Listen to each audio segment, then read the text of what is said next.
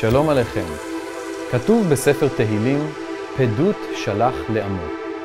צריך להבין שיש קשר בין רצונו של הקדוש ברוך הוא לפדות את עמו לתורת אדוני.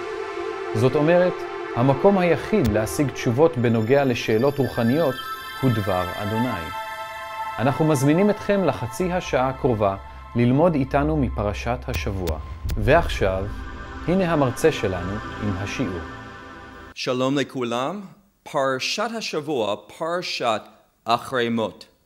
כמובן, הדבר העיקרי, עבודת השם. לצערנו הרב, אנחנו רואים בתוך פרשתנו דוגמה לא טובה. זאת אומרת, הדרך לא נכונה לעבוד את השם. בבקשה, קחו את הספרים שלכם ותסתכלו למקום שלנו, ספר ויקרא ופרק י"ז. ספר ויקרא ופרק י"ז. הפרשה מתחילה בפרק הקודם, על יום הכיפורים. ומעניין, כתוב שם אחרי מות, וכמובן אנחנו מדברים על מותם של נדב ואביהו. למה שהם מתו? מפני שהם לא עשו הדבר הנכון. הם לא שמו לב למה שהשם אמר לגבי איך אפשר להתקרב לפניו. לא כל זמן שהם רוצים, לא עם הדבר שהם רוצים לתת להשם, לא, הכל לפי ההוראות שלו. אבל בפרק הבא, פרק י"ז, הפרק שלנו הערב, אנחנו לומדים עוד יותר על אותו עניין, עבודת השם. בואו נתחיל בפסוק הראשון. כתוב כאן, וידבר השם אל משה לאמור, דבר אל אהרון ואל בניו ואת כל בני ישראל, ואמרתם עליהם, זה הדבר אשר ציווה השם לאמור. יש כמה דברים חשובים כאן בפסוק הראשון וגם בפסוק השני. קודם כל, השם שהוא דיבר למשה רבנו. אבל משה רבנו הוא לא לקח כל זה כדי לתת לעם ישראל באופן אישי. אנחנו לומדים כאן ממשה רבנו עד אהרון הכהן. מאהרון הכהן שהוא לימד מבניו, זאת אומרת הכהנים. ואנחנו לומדים הכהנים שהם היו המורים של עם ישראל. לכן מה שאני רוצה להגיד שיש סדר כדי ללמד. גם אנחנו לומדים עוד דבר מאוד חשוב. מדברים על מה? עבודת השם. אבל כתוב כאן באותו קטע, פסוק ב', כתוב זה הדבר אשר השם ציווה לאמור. מעניין, זה הדבר. אנחנו לומדים את הבסיס של עבודה זרה. ומה היא? פשוט מאוד להבין את זה. להתקרב לפני השם. זאת אומרת, להיות בקשר. לא. איך לעשות את זה? על ידי קורבן. כמובן, קורבן, המילה הזאת נובעת מהמילה להתקרב. אבל יש לי בעיה.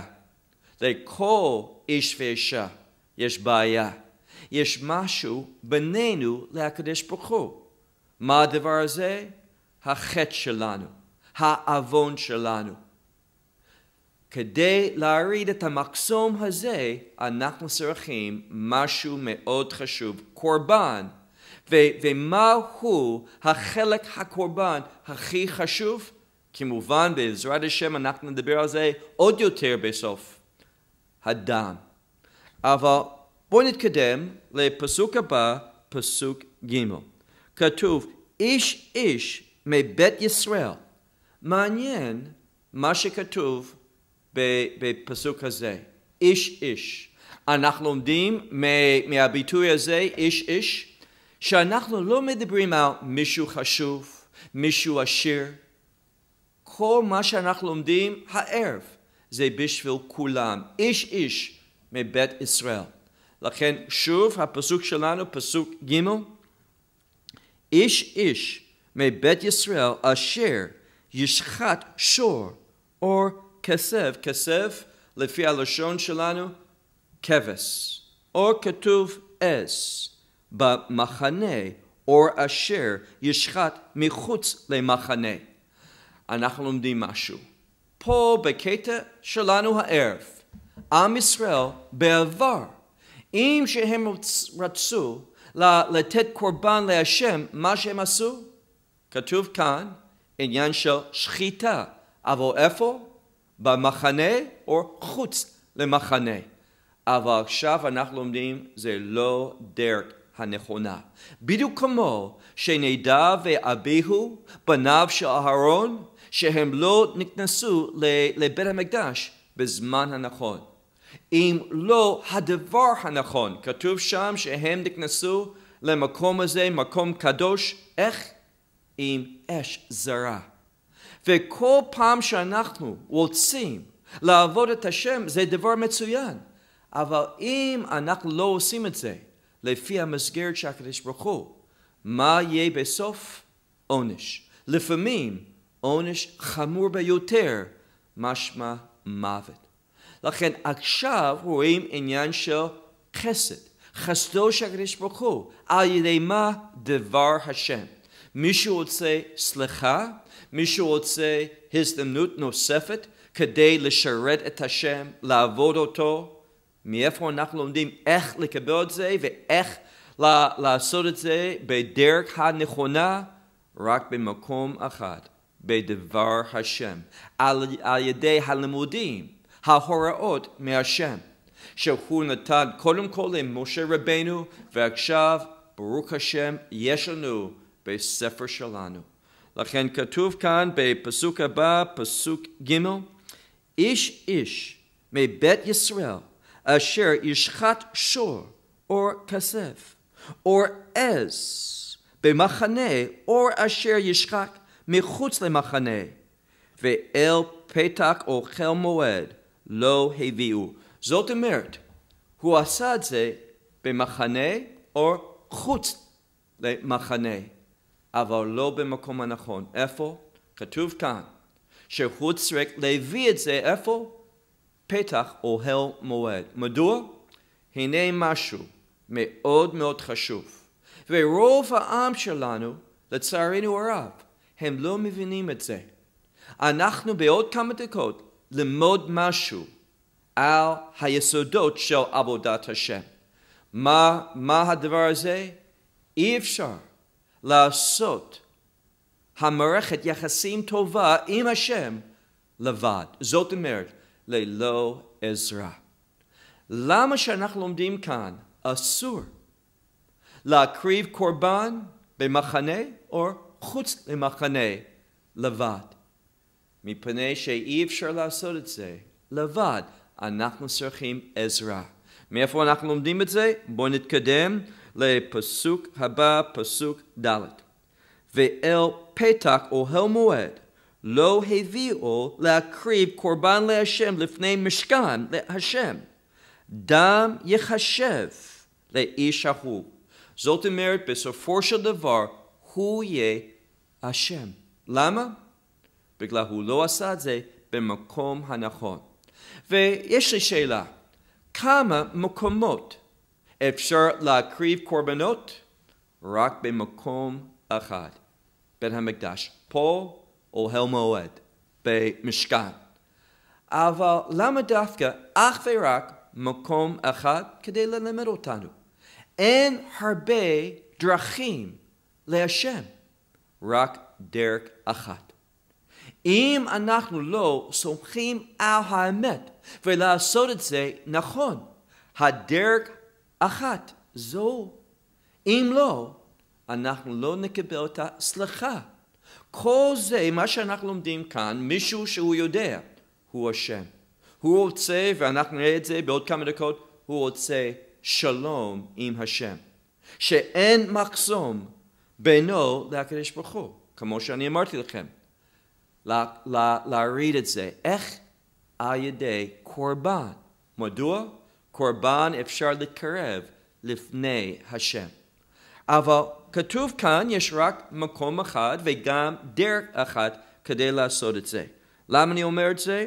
כתוב ב- ב- באותו פסוק, פסוק ד', אם הוא לא עושה את זה באופן הנכון, כראוי, מה קורה?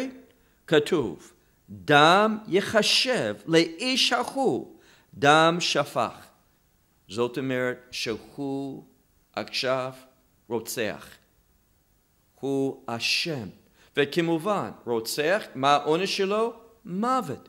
בדיוק כמו שאנחנו למדנו כלפי נדב ואביהו. לכן אין שינויים בכתבי הקודש. מה שהשם אמר יותר מוקדם, גם כן. הדבר הזה, הדבר אמיתי בכל מקום בכתבי הקודש. לכן כתוב כאן, דם שפך, ומה העונש? כתוב, ונקראת האיש ההוא מקרב עמו.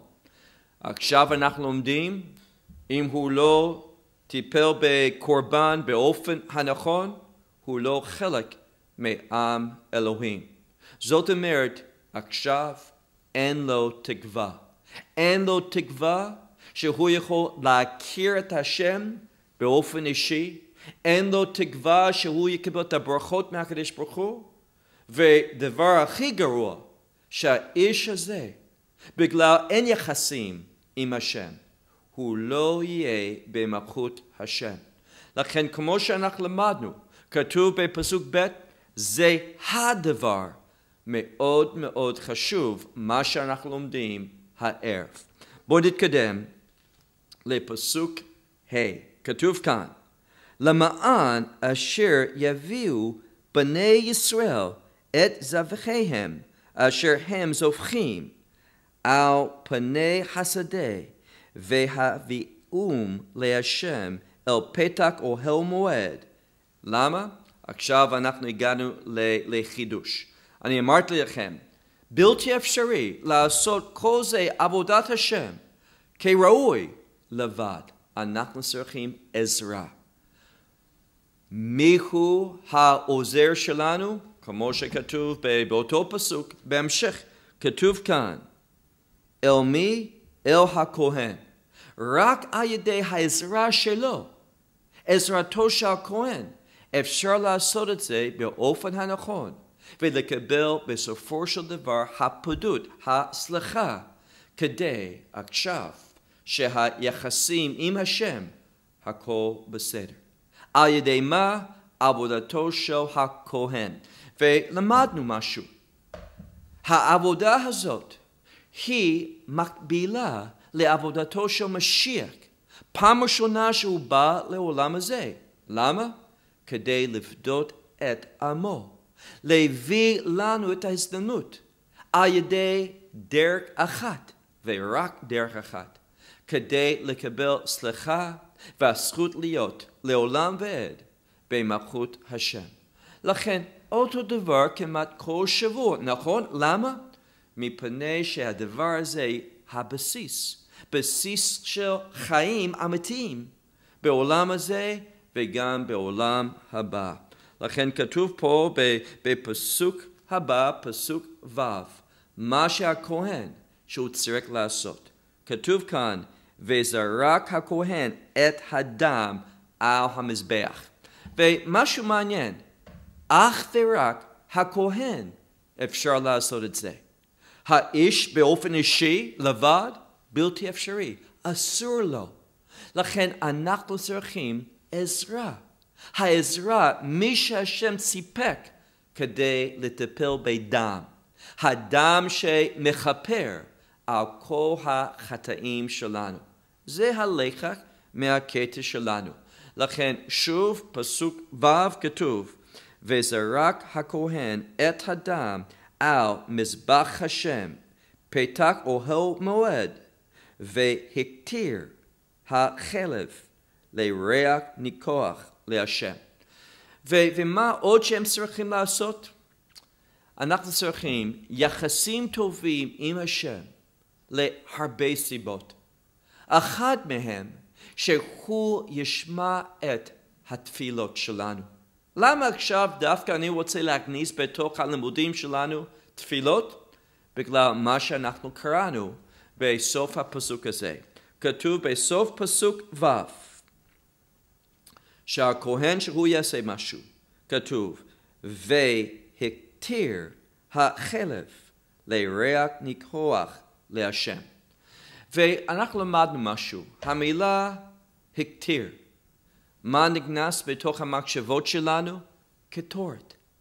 ו- וכתוב בכמה מקומות בתנ"ך, וגם חז"ל, כמובן שהם יודעים את זה, הקטורת כנגד, אפשר להגיד, התפילות שלנו. זאת אומרת, בזמן שהקטורת, שהיא עולה לשמיים, מה עוד? לפי מה שכתוב בדבר השם, באותו שעה, מה קורה? גם התפילות שלנו, הבקשות שלנו, ההודעות שלנו, כל זה גם עולה לשמיים. לכן בלי עזרה, העזרה מהכהן, השם הוא לא ישמע. ואני לא מתכוון שהוא לא יכול, פשוט שהוא יסרב לשמוע. הוא לא רוצה. רק על ידי מה? החלב. למה זה חשוב? החלב הוא החלק הכי טוב. מה ש, שמגיע להשם בלבד. לכן רואים כאן משהו מקביל. באותה שעה ש, שהחלב זה ריח, כמו שכתוב כאן, ניכוח להשם. גם כן השם יקבל את התפילה שלנו בשמחה רבה, באופן חיובי. בואו נתקדם לפסוק הבא, פסוק ז'. ולא יזבחו עוד את זבחיהם לשעירים. ותשימו לב כאן למילה הזאת, שעירים. לפי רש"י וכל הפרשנים, המילה הזאת מתייחסת לשדים. ומה אפשר להסיק מזה? מה בעצם הלקח בשביל הפסוק שלנו עכשיו, פסוק ז'? בדיוק כמו שיש רק דרך אחת להשם, דרך אחת כדי לקבל את הגאולה. אם אנחנו לא הולכים לפי הדרך הזאת, אם אנחנו לא עובדים את השם לפי המסגרת שלו באופן הנכון, מה בעצם אנחנו עושים? בדיוק כמו שכתוב כאן. אנחנו עובדים משדים. אין מקום אמצעי. אפילו דרך נכונה להשם או דרך לא נכונה. לא לפי כל פרט ופרט לפי המסגרת של השם, ובסופו של דבר אנחנו חס ושלום עובדים את שדים. ובזמן שעם ישראל עשה כך, הם לא עשו, הם לא ידעו מה שהם בעצם עשו. הם לא רצו לעבוד את שדים, אבל זאת המציאות בסופו של דבר. לכן חייב להקפיד על כל פרט ופרט ממה שכתוב בדבר השם. בואו נתקדם לפסוק ח', כתוב כאן, ועליהם תאמר איש איש מבית ישראל מן הגר אשר יגור גור בתוכם. ועכשיו רואים גר, אבל צריך להבין משהו. לפי תורת משה, כמו שאנחנו למדנו לפני שבועיים מהלימודים שלנו מספר שמות ופרק י"ב, בתורת משה, גר, אנחנו לא מדברים ולא משתמשים במילה הזאת כמו שאנחנו עושים עכשיו. גר זה מישהו שהתגייר. אבל לא כאן. גר בתוך ההקשר שלנו זה גוי שגר באופ, באופן קבוע בארץ ישראל. אני רוצה להגיד את זה שוב. גר לפי התנ"ך זה גוי שגר בארץ הקודש, בארץ ישראל, באופן קבוע, וגם שיש לו רצון להיות חלק מעם אלוהים. לכן רואים פה בפסוק שלנו, פסוק ח', שיש לו את הרצון לעשות מה? להקריב קורבן. מה שכתוב כאן, ומן הגר אשר יגור בתוכם, אשר יעלה עולה או זבח. זאת אומרת, הוא רוצה להקריב קורבן. ומעניין, בעוד כמה דקות אנחנו רואים את המילה של... שלמים. מה זה? מישהו רוצה שלום, קורבן, כדי להיות בשלום עם השם. ולפי הקשר, גם הגוי שגר בארץ הקודש באופן קבוע, הוא רוצה שלום. לכן מה שהוא צריך לעשות? אותו דבר. למה זה כל כך חשוב? אנחנו לומדים מפרק שלנו, פרק י"ז בספר ויקרא, כדי לקבל את השלום עם השם, למצוא את זה, לקבל את זה. אין דרך אחרת לגוי, לא, אותה דרך. ליהודי וגוי, אותו דבר, אותה דרך. לכן הנה החידוש מהקטע שלנו. ו- ויש עוד דבר מאוד מאוד משמעותי כדי לעזור לנו להבין שאנחנו לא מדברים על אותו איש. זאת אומרת, גר זה מישהו שהתגרר ועכשיו חלק מעם ישראל. זה עניין מיותר. למה אני אומר את זה? יש לי שאלה. יש הבדל בהלכה לגר, ליהודי? התשובה היא לא. אותה הלכה. לכן למה אנחנו חייבים לחזור על אותו עניין לגר עם הפירוש הנכון זה גר מישהו שהתגר? לא. ויש הוכחה שאנחנו מדברים על גוי שרוצה להיות חלק מעם אלוהים. למה אני אומר את זה? אותו קטע, אבל פסוק פסוק תשע. כתוב כאן, ואל פתק אוכל מועד לא יביאנו לעשות אותו להשם.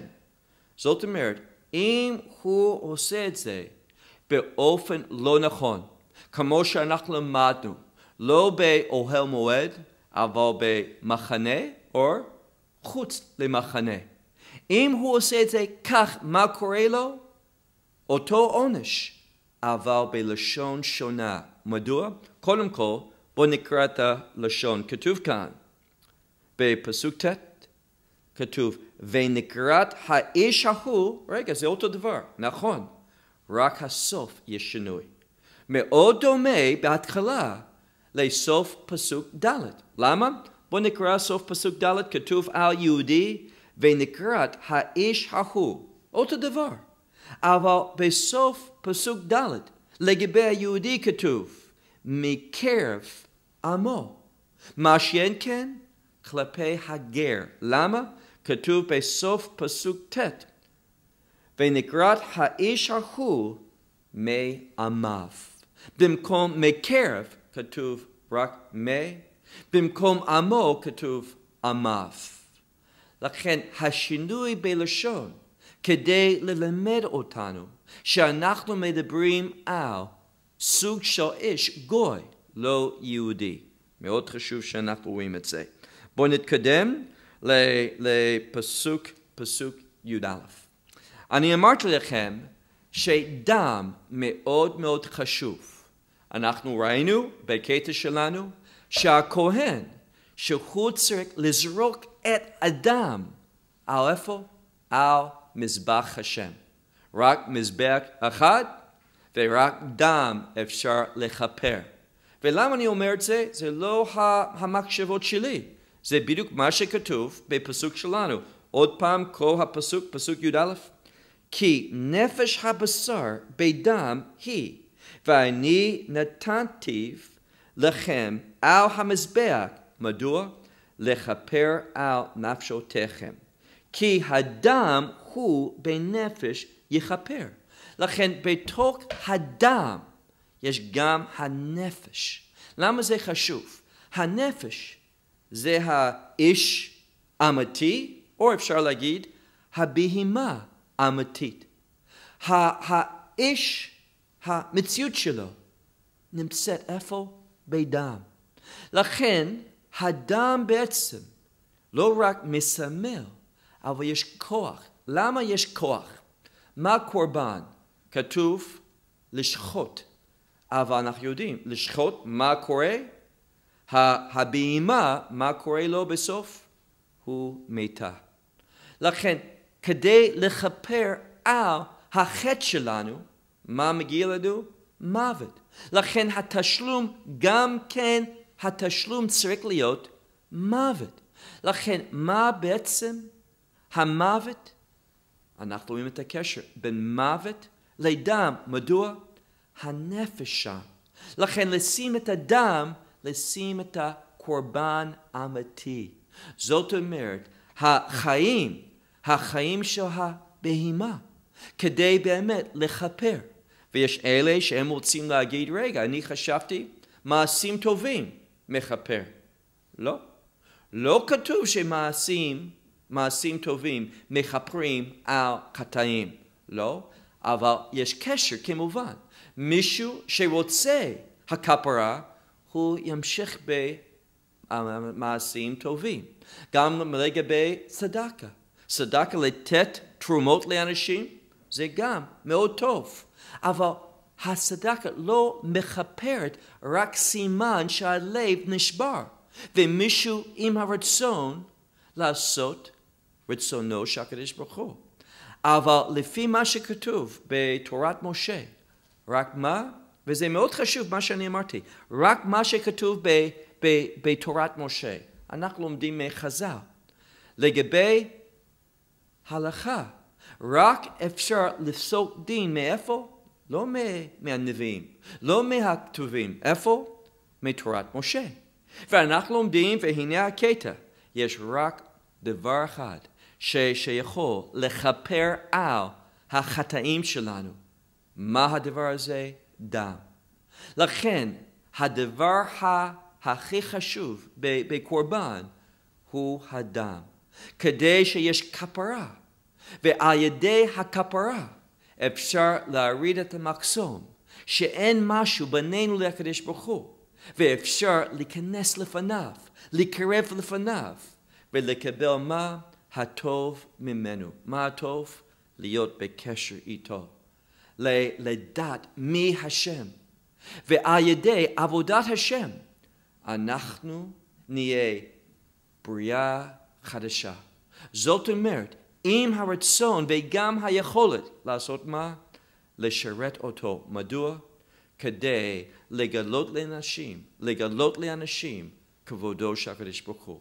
וזאת הסיבה שהשם ברא אותנו, לגלות לאנשים כבודו של הקדוש ברוך הוא. מדוע? על ידי כבודו אפשר להביא הכל לפי הסדר שלו. נגמר הזמן שלי, עד השיעור הבא. תודה רבה לכם. שלום שלום. אנחנו מקווים שהתברכתם מהשיעור. אתם מוזמנים להיות איתנו כל שבוע בזמן הזה ובערוץ הזה. זאת זכות עבורנו לשדר תוכנית זו והרגישו חופשיים להזמין עוד אנשים לצפות בה. אם יש לכם שאלות או תרצו מידע נוסף, אפשר ליצור איתנו קשר בכתובת המופיעה על המסך. עד התוכנית הבאה, שאלו שלום ירושלים.